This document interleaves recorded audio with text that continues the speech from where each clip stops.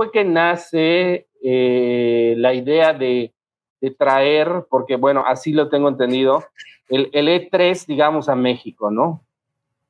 Que creo que es lo que conceptualizaron ustedes como, como Sí, mira, la, verdad es que la historia ahí, tío Gabo, eh, es una historia muy padre porque coinciden, coincidimos varios en un punto de la historia que, que de alguna manera conectó eh, mira, pues el, el, Dani Palacios, este, buen amigo, buen amigo, buena foto. Ya, qué buena este, foto. Eh, fíjate que coincide, ahí está efectivamente Akirita, ahí está una, una compañera con la que hicimos el proyecto en su momento.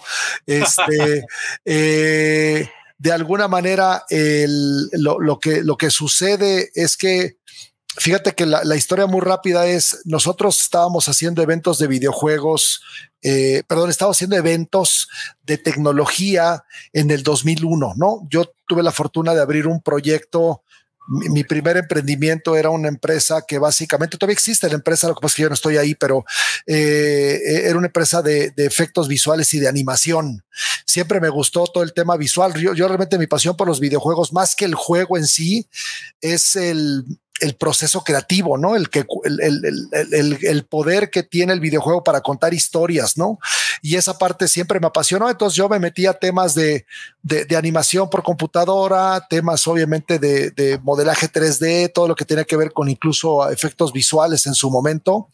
Y empezamos a hacer eventos de, de tecnología y eventos particularmente de animación en el 2001 esto era también una industria pues muy muy muy este, especializada no y, dijimos oye pues creo que podríamos hacer eventos un poco más grandes porque los de animación pues eran obviamente más bien congresos y cosas obviamente un poco más pequeñas eh, y resulta que en esa época uno de mis socios eh, Charlie Turriaga eh, retoma contacto con, con Akira, con Oscar Yasser en su momento. Este, descansa en paz, mi querido Akirita, pero. En paz descanse. Exactamente. Y, bueno, pues este, ellos eran muy amigos, estudiaron juntos.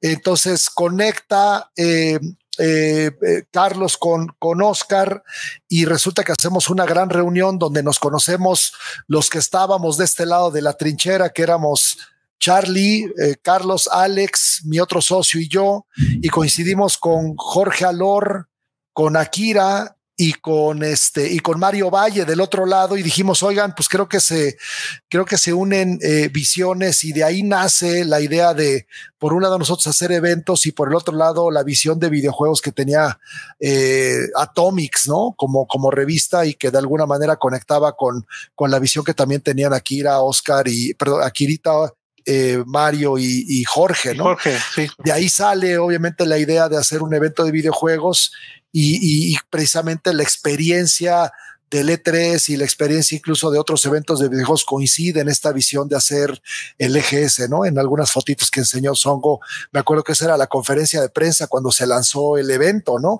Estaba bien jarra Songo en ese evento, estaba muy feliz. ¿Qué, pasó, Songo? ¿Qué pasó, Songo? ¿A poco tuvieron explica eso. ¿A poco tuvieron un kickoff en el 2002? Sí, sí, sí. Ah, ese, ese, no me tocó, fíjate, me tocó el de que el de 2003 que vino Charles Martinet y todo. Te tocó el, 2003, ¿no? Sí. Eh, ajá, el 2002, eh, si recuerdas, yo trabajaba en Gamela. claro. a nosotros nos llegó la invitación, pero ahí ya, eh, yo conté la vez pasada que hubo un tema ahí con el ingeniero Shain que ya total, que ya no se pudo, se cayó, vaya pero pues estaban avanzadas. De hecho, yo recibí un disco de tu parte sí, en donde había un demo reel de qué es lo que iba a ser el IGS porque pues, no había una referencia. Entonces era algo similar a eh, el E3 y me acuerdo mucho que al final decía el EGS se proclama no como un estilo de, no, perdón, no como un evento, sino como la congregación de un estilo de vida. La vida como un videojuego. Exactamente. Come and play, así decía. Sí, sí, tiene razón. Fíjate qué memoria tienes y sorprendente. De hecho, por aquí tengo, bueno, digo, para no, no, no quiero generar spoilers, pero, pero a ver, este, quiero, quiero, este, quiero, quiero contarles de que vamos a tener todo un despliegue histórico del EGS eh, de 20 años, ¿no? Este, Ay, ¿en serio? las piezas originales, Qué bueno, eh, los materiales inéditos, las tarjetas que nos dio eh, pues los, los, los protagonistas, ¿no? La gente de Nintendo, la gente de Xbox.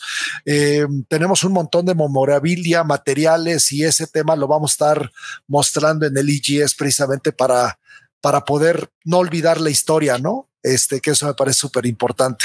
Oye, no, fíjate que tengo un par de Club Nintendos eh, eh, guardadas. Sin embargo, por ahí hay una colaboración con Toñito Rodríguez y con Pepe Sierra, precisamente alrededor de IGS, que ya le estaré contando.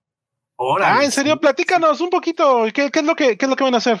Pues mira, digo, tal vez, tal vez empezaría un poco como la visión general de que creo que, creo que el, el, el respawn de EGS tiene que ver más con, con celebrar lo que disfrutamos por muchos años, más que realmente con un foco que yo les diría, ah, pues es que tiene, tiene que estar un proyecto comercial otra vez más y empujarlo fuerte y que sea obviamente parte de la visión de negocios. E, este es más como un, como una búsqueda, yo creo que de juntar otra vez amigos, ¿no? Y además me da mucho gusto estar en esta llamada porque me he encontrado con toda la gente que vivió el EGS y hemos tenido un montón de pláticas, anécdotas y charlas y, te das cuenta de la trascendencia de haber vivido juntos estos años, ¿no? Claro. Entonces, eh, lo que estamos haciendo con, con, con Club Nintendo es que vamos a tener, eh, digamos, toda una, toda una instalación de Club Nintendo en el IGS histórica, ¿no? Este, piezas, piezas que tiene guardadas Toño, piezas que tiene guardadas Pepe,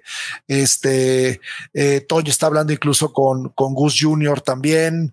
Vamos obviamente a recordar a, Gus Rodríguez eh, porque pues al final del día es parte también de la historia y él estuvo en varios EGS.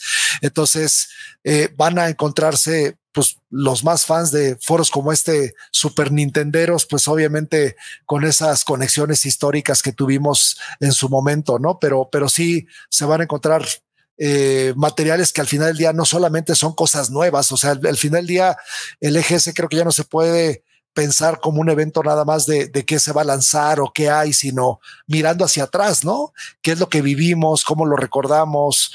¿Qué, qué, qué, qué, tenemos guardado y que se vuelve pues ya elementos de, de historia de la industria del videojuego en México, ¿no? Por supuesto, por supuesto. La verdad es que eh, siento, eh, digamos, eh, mucha emoción porque yo que tuve la oportunidad de estar desde el primer IGS y conocer muchas de las historias y de las anécdotas y de, ¿sabes? Todo lo que se, se formó alrededor de muchos de los IGS, pues seguramente me va, me va a hacer recordar mucho de, de todo eso, ¿sabes?